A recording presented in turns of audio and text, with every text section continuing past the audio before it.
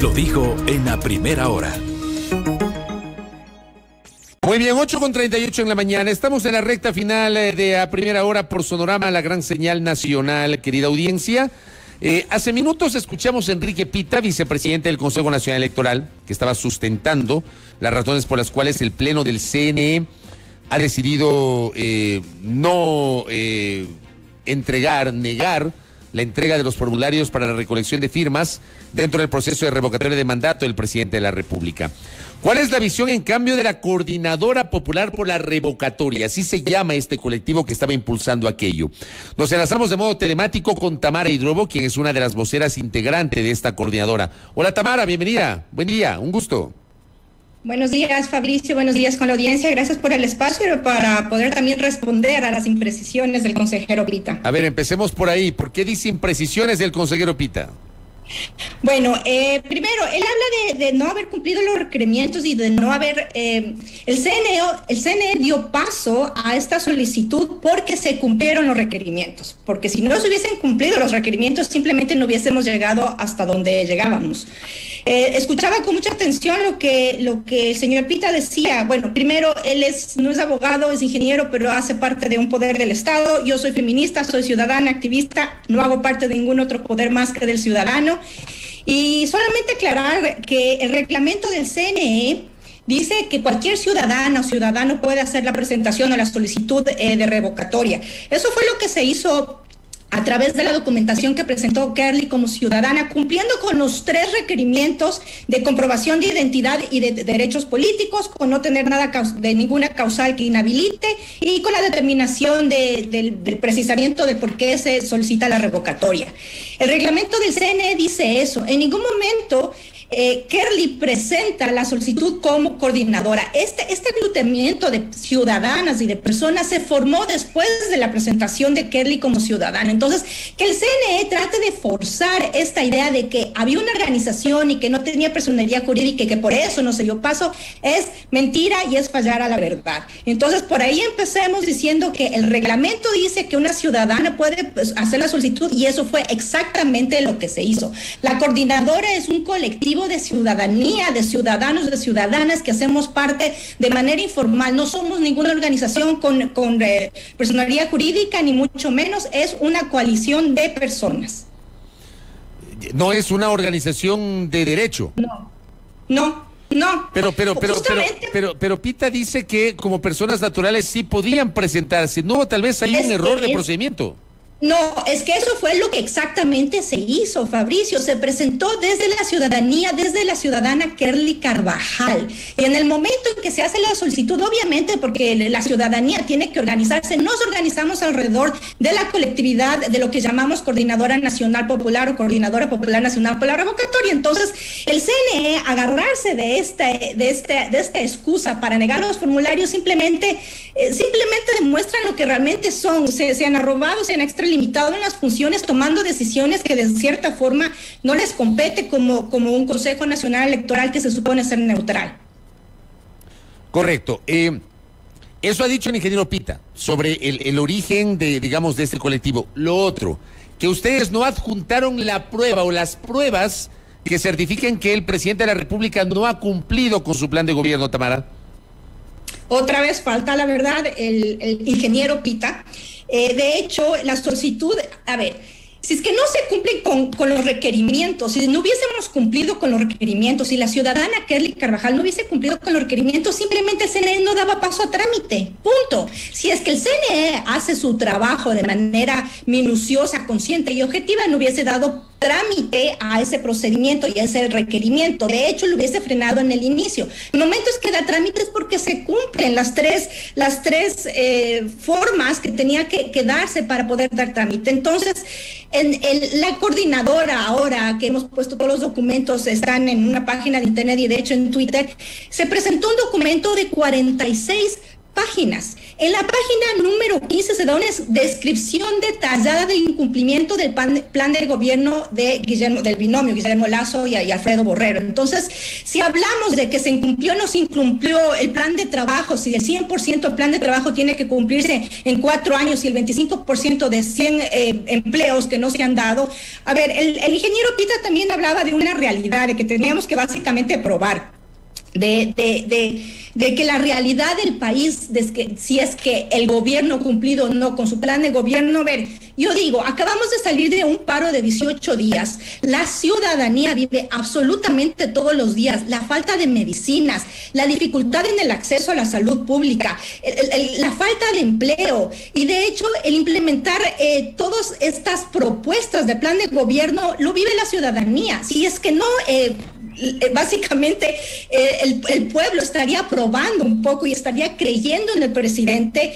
Eh, tenemos también que perfiles de opinión acaba de también de decir que, que la credibilidad del presidente ha bajado al 11% en los 13 meses de gobierno y que el 16%, apenas el 16% tiene una aprobación de gestión. Nuestra pregunta, nuestro cuestionamiento es cómo un presidente puede sostenerse con estos números y con la realidad que yo no tengo que contarles porque en el país se vive todos los días. O sea, usted lo que asume, de acuerdo a lo que le estoy escuchando, es que eh, cuando la autoridad electoral dice que tienen que probar los incumplimientos, usted asume que esos incumplimientos se notan en la realidad. Se nota, y están escritos, Fabricio, tenemos un documento, parece que el ingeniero Pita no ha leído y obviamente... ¿Qué, documentos, adjuntaron ustedes? A ver, sí, sí sería interesante conocer qué tipo de documentación adjuntaron ustedes. Hay un documento, a ver, repito, se tenía que comprobar la identidad de la persona solicitante, tenía que esa persona no tener inhabilitación para poder hacerlo y tenía que haber un documento con determinación precisas y claras. Un documento, 46 páginas que le hemos compartido tanto en la página de internet como en, la, en, en el Twitter, donde hemos estado tratando de ser transparente con la ciudadanía, con el país, 46 páginas. En la página número 15 hay una descripción detallada de los incumplimientos punto por punto. No es que nos inventemos se tomó el plan de gobierno que el mismo CNE aprobó durante la campaña y de este plan de gobierno se hizo un análisis donde se describe punto por punto, área por área, de todo el plan de gobierno que tiene, que presentó el binomio en ese entonces, ahora que es gobierno. Entonces, el documento está ahí. El señor Pita, el ingeniero Pita, habla de, que no se presentó las... De verdad, parece que no leyeron los documentos ni, ni, tampoco eh, los descargos de las 120 páginas, que por cierto, aquí también el ingeniero Pita falta en la verdad. Recién el 4 de julio, después de haber insistido con severendas documentaciones que también están probadas y están hechas públicas, para pedir al CNE la revisión de las cajas, del contenido de las 120, famosas 120 cajas de descargo que presentó el presidente, el vicepresidente, recién el 4 de julio, el mismo día que, los consejeros se reunieron para tomar la decisión, nos llegó la información de que se podía acceder esta, a esta información con seis CDs y todo. El momento en que las compañeras que están allá van al CNE, les dicen que la documentación no está lista. El señor Pito está faltando la verdad, no con la coordinadora y no con este esfuerzo ciudadano al país y al mundo. Y lo sabemos y se sabe. Yo estoy aquí también para desmentir eso. O sea, cuando el ingeniero Pita dice que ustedes tuvieron a disposición eh, la información que entregó el presidente de la República al Consejo Nacional Electoral, ¿no es cierto eso? Es mentira, Fabricio, es mentira, porque si es que hubiésemos tenido acceso a la documentación, no hubiésemos tenido que mandar severendos documentos. Reitero, el 27 de junio fue nuevamente otro documento que lo posteamos solicitando al CNE acceder a esa información. Y recién recibimos el 4 de julio, también posteado eh, y compartido toda esta, esta información, porque desde la ciudadanía sí somos transparentes, sí tenemos esta capacidad de informarnos y de transparentar cada decisión y cada actitud que hemos tomado y los documentos que hemos recibido, tanto como los, los, que hemos presentado, han estado a la disposición de todas las personas que pueden ingresar. El 27 de junio se hizo la solicitud y recién el 4 de julio recibimos, el mismo día que se tomó la decisión, recibimos la, la, la, información de que podíamos acceder a los seis CDs a toda la información. Y la pregunta también aquí cabe a CNE, ¿cuál fue la metodología que usaron? Para revisar esas 120 cajas, porque nadie sabe que están en esas 120 cajas, a menos que se acceda a los CDs y que se haga toda esta revisión de la información que obviamente nos dan acceso el mismo día que ya declinan la, la petición de la solicitud de los formularios para las firmas. Y aquí también clarificar a la ciudadanía, Fabricio, no es que esto con, con, con la solicitud de, de, las, de los formatos, de las firmas, ya se, ya, ya se, se, da la revocatoria al presidente, al vicepresidente. La ciudadanía tiene un derecho garantizado por la Carta Magna, artículo 105, a ejercer el derecho ciudadano de la participación directa y hacer la revocatoria de un mandato o solicitar la revocatoria de un mandato.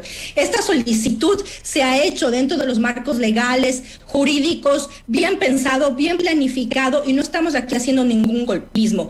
Y de hecho, si es que nos hubiesen entregado los formularios, era nuestra responsabilidad asegurarnos de tener el 15% de firmas, que son las famosas 1.970.000 firmas, para poder llevar al proceso a elección, a las urnas, donde la ciudadanía, no es el Consejo Nacional Electoral con cuatro vocales de los cinco, tomando la decisión que le corresponde y le compete por derecho, amparados en la Constitución a la ciudadanía. Es la ciudadanía la que podía, la que debe, de hecho, ir a las urnas a decir si sí, esta autoridad se revoca o no, esta autoridad se queda. Entonces, el hecho de que nos impidan acceder a los formularios simplemente están mostrando lo que venimos diciendo. El CNE se ha extralimitado en sus funciones y está arrebatando este derecho a la ciudadanía que nos compete y que estamos luchando. Ahora, el ingeniero Pita lo que ha dicho es en entrevista anterior que eh, todo esto está en la ley ya que, que, que, no se podía, por ejemplo, el tema de, la, de, de, valorar la carga de la prueba eso está en la ley y eso le corresponde a quien presente el pedido eh, y los otros factores sí se están en la ley. ¿No será que la ley es la que terminó complicando las cosas, Tamara? ¿Qué ley, Fabricio? ¿Qué ley? Que el señor Pita, que el ingeniero Pita, que no es abogado, nos explique qué ley, en qué artículo de qué, ley, qué artículo de qué ley se refiere para que ellos se hayan amparado a tomar la decisión que tomaron. Entiendo que es en el Código de la Democracia al que se refiere. Ya, yo, yo estoy hablando del reglamento del CNE, donde, donde habla de la revocatoria, donde se dice que la ciudadanía, como fue Kerly Carvajal, podía hacer la solicitud de revocatoria y eso fue lo que se hizo. Forzar, o sea, que el CNE fuerce esta idea de que es una organización, pero no es una organización, entonces como es una organización, entonces no se dan, es, es, es hasta es hasta burdo, es una burla a la ciudadanía, por favor. Aquí estamos eh, demandando un derecho ciudadano que se están, eh, que nos están robando y arrebatando cuatro consejeros.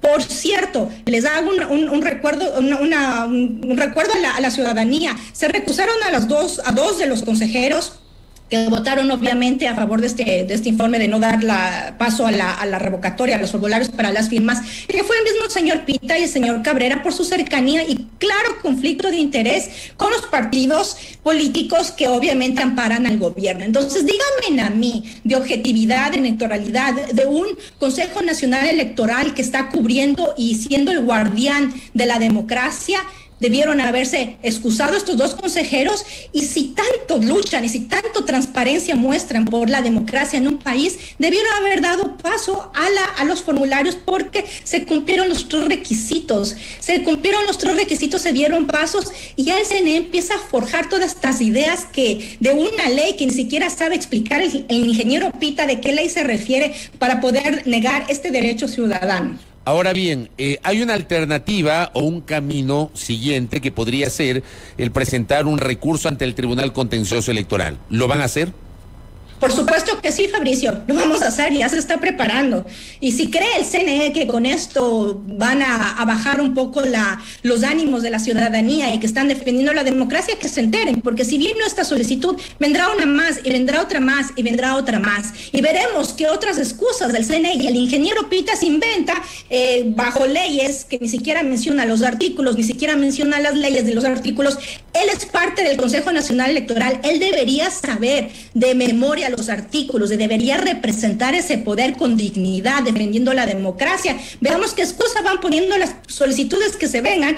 Ahorita estamos enfrentándonos con mentiras, estamos tratando de mostrarle a la ciudadanía con transparencia con estas manos de ciudadana activista, que yo no soy más allá que otra persona y otra compañera más de las que estamos atrás tratando de mover esto, haciéndonos responsables de este derecho ciudadano, lo que estamos llamando también a las personas, si es que están realmente determinadas para cambiar y transformar la realidad del país, tienen que también asumir estos, estas responsabilidades ciudadanas y hacerse cargo de eso y ejercer sus derechos. Veamos con qué excusas saldrán, no solamente con lo, con lo que presentemos también al Tribunal Contencioso Electoral, sino también a las siguientes solicitudes de revocatoria que estoy segura que vendrán, porque un gobierno con el 11% de, de credibilidad no puede sostenerse tres años más, Fabricio. El Ecuador no va a poder soportar tres años más de este gobierno nefasto. Acordémonos que recién salimos de, una, de un paro nacional de 18 días y que estamos viendo que ojalá las mesas de diálogo se den. ¿Qué país estamos construyendo? ¿Con qué instituciones estamos construyendo este país?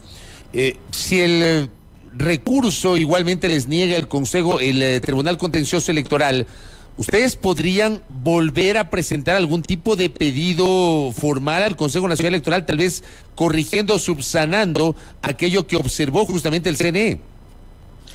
Tengan por seguro que lo haremos, que lo haremos y no seremos eh, solamente la coordinadora, como se sabe y que es de conocimiento público ciudadano, ha habido varios intentos y varias voces que se han levantado también con la intención de ejercer este derecho ciudadano y de pedir la revocatoria. Entonces, tengan por seguro que esta actuación de, de extralimitación de funciones claras que ha tomado el CNE el, el día 4 de julio se va a replicar en más de una solicitud bien pensada, bien planificada, insisto si es que utilizaron estas excusas basándose en estas mentiras, faltando a la verdad, el consejero Pita sabe que faltó a la verdad Vamos a ver el tipo de, de, excusas y de mentiras y de barreras que van a seguir poniendo. Tenemos todavía dos años porque se puede utilizar esta herramienta hasta, antes del tercer año de gobierno para seguir intentando. Estamos conscientes que es un proceso largo, desgastante, que tiene este tipo de barreras también de enfrentamientos con, con poderes fácticos, instituciones cooptadas también por intereses políticos. Esta es una lucha política, Fabricio, estamos conscientes de eso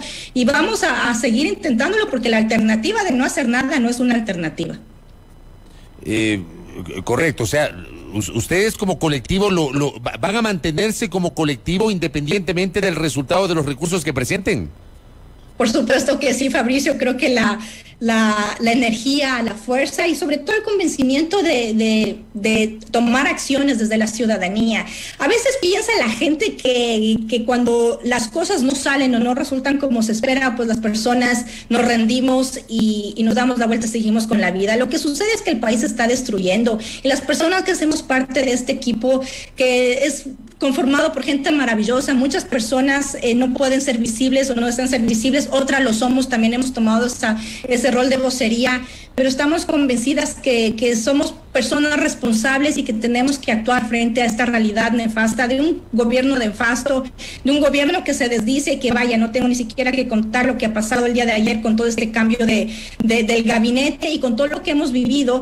Entonces, creen que nos disolvemos y que aquí quedó todo y no se dan cuenta que lo que hacen es llenarnos de más coraje y de más determinación para seguir luchando y no desistir, porque como digo, la otra alternativa es no hacer nada y no hacer nada no es una alternativa para las ciudadanas y ciudadanos que queremos y creemos que es necesario luchar por un mejor Ecuador. Su, cuestionamiento es solamente al consejero Enrique Pita o es a los otros tres consejeros que negaron la entrega de los formularios?